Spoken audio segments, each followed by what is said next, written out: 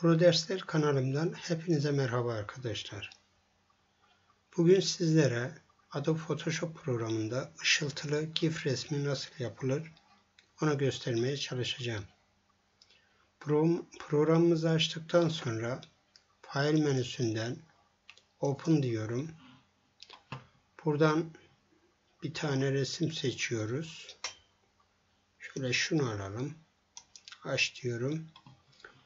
Daha sonra bu arka planı katman haline getireceğiz. Background yazan e, layer'da çift tıklıyoruz. OK diyorum. Arka plan haline geldi. Ben bunun bir tane kopyasını alacağım şimdi. İster Ctrl J tuşuyla isterseniz layer seçiliyken sağ tıklıyorsunuz. Duplicate layer seçeneğine tıklayarak yine kopya alabiliyorsunuz. Şimdi ben bunun üzerine bir tane boş layer açacağım. Şöyle açıyorum. Şimdi ben şu kısımda yıldızlar ekleyeceğim. Şöyle brush sekmesinden yıldız brush'ımız burada var arkadaşlar. Şöyle ben bunu şöyle gezdiriyorum.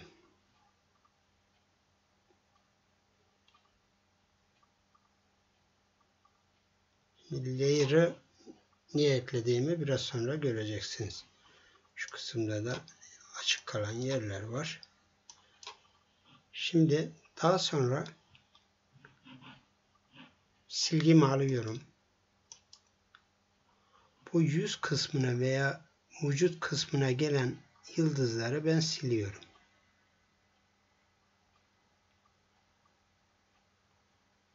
Yıldız arkada parlamış olacak yani amacımız o. Şöyle. Tamam yani çok da dört dörtlük olmayabilir. Anlatım amaçlı olduğu için.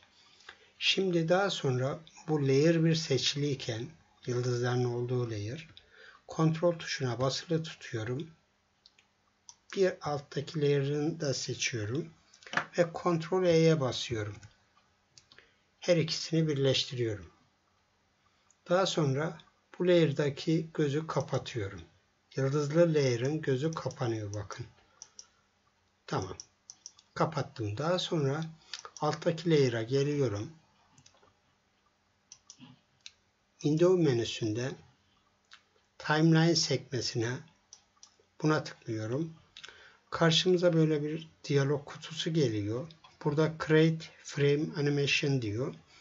Yani yeni bir animasyon çerçevesi oluştur diyor. Türkçesi o. Biz de yarım yamalak İngilizceyi işte e, dilimiz döndüğünce söylüyoruz. Tabi hatalarımız çok oluyor ama affediyorsunuzdur umarım. Ben buna tıklıyorum. Şimdi bir tane resmimizi buraya gönderdi.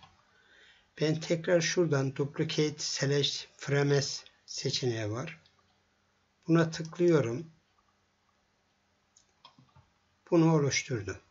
Daha sonra şuradaki yıldız eklediğim resmi açıyorum. Şimdi burada her iki resmimiz de mevcut.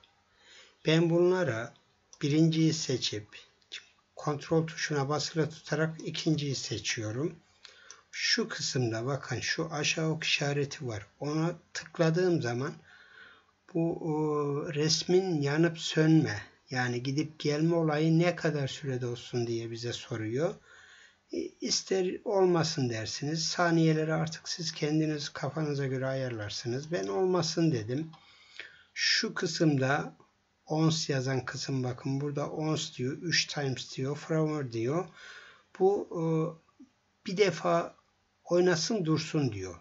Bu üç defa oynasın dursun diyor. Bu da sürekli oynasın diyor. Ben onu seçiyorum. Daha sonra oynatıyorum. Evet bakın şu anda bizim süremizin e, çok kısa olduğunu görüyoruz. Ben durduruyorum. Tekrar bakın şu stop butonundan. Yine ben ikisini seçiyorum. Kontrol tuşuyla beraber. Burayı biraz artırıyorum. 2 yapıyorum arkadaşlar. Tekrar oynatıyorum.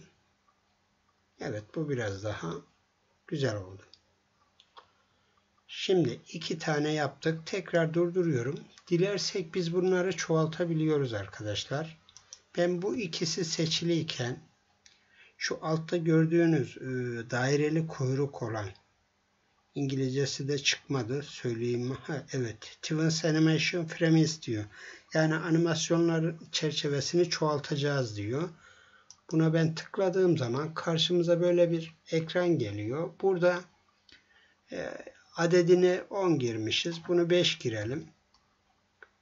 Okey dediğimiz zaman arkadaşlar 2 tane zaten bizim vardı. 5 tane de o ekledi. 7 tane oldu.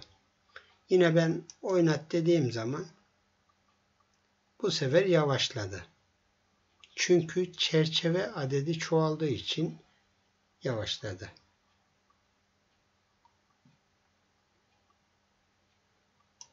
Durduruyorum. Tekrar ben bunun süresine süre yok diyelim. O biraz daha evet. Şimdi istediğimiz şekilde oldu.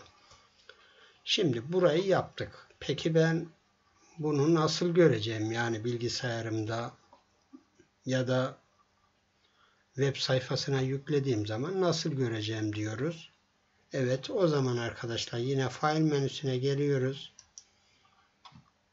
Save for web kısmına burada kısa yol tuşu Alt Shift Ctrl S ama onu ezberleyene kadar buradan biz e, seçebiliriz. Seçiyoruz. Evet karşımıza böyle bir ekran geliyor. Buradan şu kısımlarla hiç oynamıyoruz. Zaten GIF kaydedeceğimiz için ben buradan e, sev diyorum. Şunu biraz küçültebiliriz. Bakın burada yine zoom in zoom out seçeneğimiz mevcut. Şimdi ben burada sev diyorum. Sev dedikten sonra önemli olan e, kayıt şeklini seçmemiz. Arkadaşlar burada yalnızca resim, yalnızca HTML, resim ve HTML yani hem internet sayfasında hem de bilgisayarımda görebileyim diyoruz. Ben bunu seçiyorum. Bunu masa üstümüze de kaydet diyorum. Şu anda kaydetti.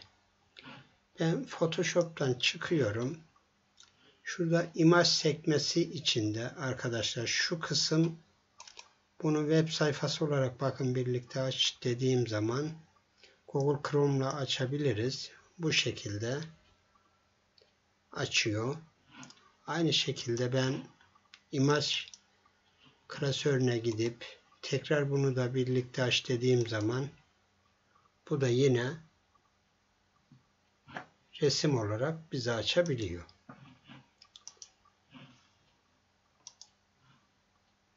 Photoshop'ta ışıltılı resimlerle GIF yapmayı anlatmaya çalıştım. Umarım anlamışsınızdır. Videolarımı beğenirseniz, kanalıma abone olursanız çok memnun olurum. Yeni derslerde görüşmek üzere, hoşçakalın.